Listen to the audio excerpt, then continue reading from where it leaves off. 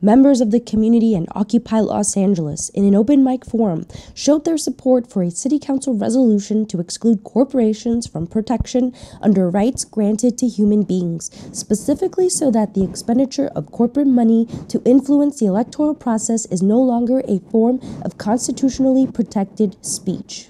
But the fundamental driving force behind corporations is greed. And well, and that's why at the at the peak of the protections on corporations to provide them with to shield them from from anything other than striving to obtain profit. They are we see the widest gap between the haves and have-nots. And I believe there's a direct correlation between the two. So I'm also reminded of uh, Hal in 2001 Space Odyssey. I never understood Hal when I was a young teenager that movie came out. I never quite understood what, what the heck was Hal. Um, but Hal was corporations. Uh, Hal was greed. It was an entity that shielded itself from the human beings that created it. And it continued to expand its power until the human beings had no more power.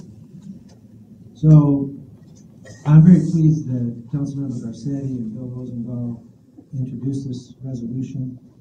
I'm very happy to add the amendments to it uh, that were recommended by the people.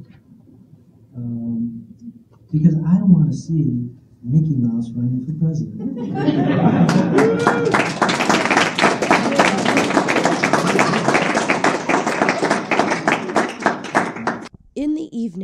Affinity Group Against Police Brutality organized a march with other outside organizations, including Answer LA, starting from City Hall in downtown Los Angeles in solidarity with Occupy Oakland.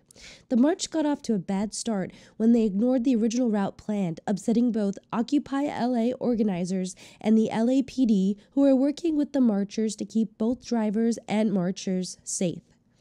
They ended their march in front of the Los Angeles Police Department across from City Hall. Some of the members from the Affinity Group complained that the organizers of Occupy LA were preventing them from spreading their message at the occupation site.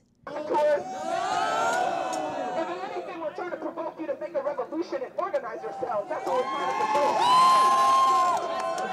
And you guys need to know that we've been fighting. Uh, we've been fighting hard. We've been fighting hard since day one, and they still try. They tried to stop us from passing out flyers at Occupy LA. They said we couldn't pass out. Well, guess what? We passed out flyers anyway.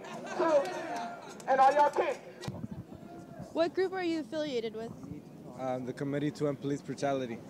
And that is, is that part of Occupy LA or is that another committee? It's it's a it's a, initially a committee that was formed and the second day of the Occupy LA, but then it was pushed over to the category of an affinity group. Okay, and why was that? I'm sorry. Why? Oh, why was it? well because they didn't approve our, our committee as an official committee within Occupy LA, so we're an affinity group now. And what was the purpose of today's march? The purpose of today's march was to show solidarity with the protesters, the Occupy protesters in Oakland that were brutalized by the police and that were cleared out.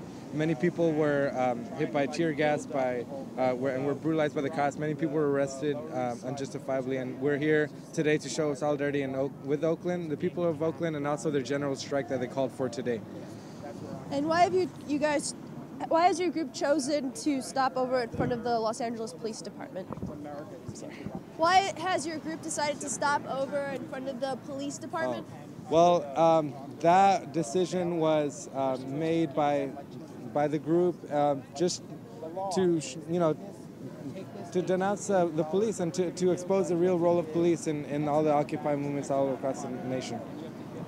Um, so far, the O- Occupy Los Angeles has not had any altercations or any run-ins with the police. Um, I've talked to other organizers; they said that it's been quite a, a good relationship. Uh, what do you do? You think that um, possibly being in, in front of the the Los Angeles Police Department is is a good uh, approach, or or do you do you, do you see it a, a different way? I think that as long as the people protesting are peaceful and not provoking the police and not doing anything that would, uh, you know, be compromising to like the safety of the people around us, then I think we're fine. I think the police have no, absolutely no reason and no right to do anything with the protesters that are peacefully assembling right now.